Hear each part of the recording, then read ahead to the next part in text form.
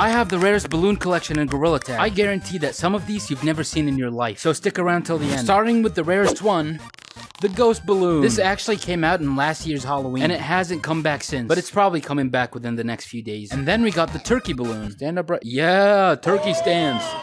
I like this one because it matches the baby turkey.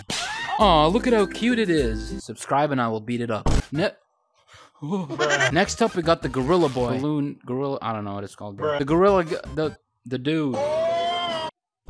And then we got these two. This one says super cool on it, and then this one says you make swing? What? You make swing.